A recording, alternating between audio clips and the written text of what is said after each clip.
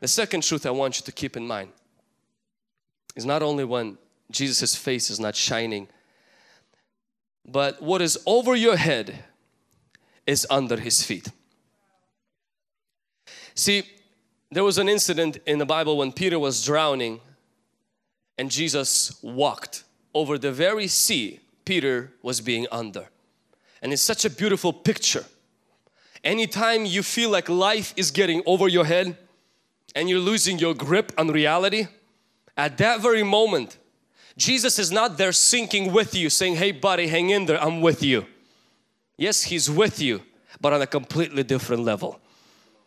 Jesus is in you, but on a completely different level. The very things you might be sinking under, He is walking over.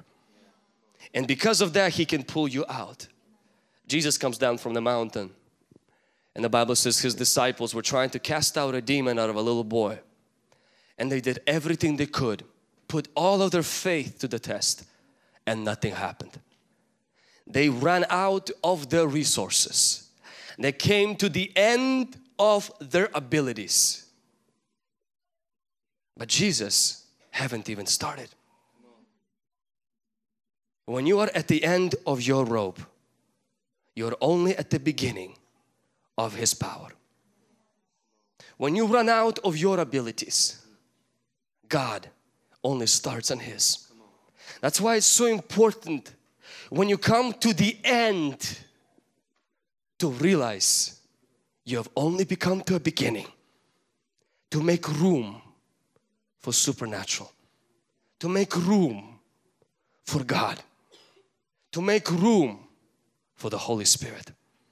When you are weak, to make room for God's strength disciples have realized in this story that we are limited. We have weakness. And knowing that you are weak is not bad. Sometimes not knowing that you are weak while you are weak is bad. Because when you know that you are weak, it does something to you. It opens you up for humility and humility opens you up for God's grace.